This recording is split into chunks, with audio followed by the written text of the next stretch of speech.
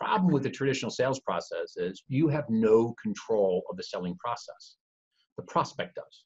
And a lot of a lot of people who are selling go in, they do all their info dump, and then they hope it's actually going to turn into business.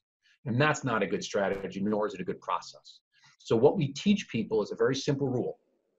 And anyone who's out there as an entrepreneur, I'm sure you have this as, as part of your DNA. If you don't, it should be. But there, here's the rule. There's always a plan in play. And whoever has the stronger plan will always win. And if you don't have a plan, by default, you become part of someone else's. So if you do not have a very strong selling process, trust me, the person you're selling to has a much stronger buying process. So whoever has the stronger plan will always win. So you have to ask yourself, are you working your plan when you're out selling or you're actually working their plan? And in the way that you know that's true, if you're doing all the talking, you're not working your plan because the person asking the questions is always in control of the interview. So the first step is, Dave, is to really look at that buying system, the buying mm-hmm. process. And again, it's a mini lie.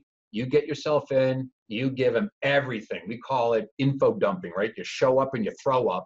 They gather all that data. Then you try to close. They give you the think it over, and then you pursue them. That's the first step in terms of the four step process that the people listening in should be observing of, be aware of, so we can figure out how to help them fix it. But that's how people yeah. buy.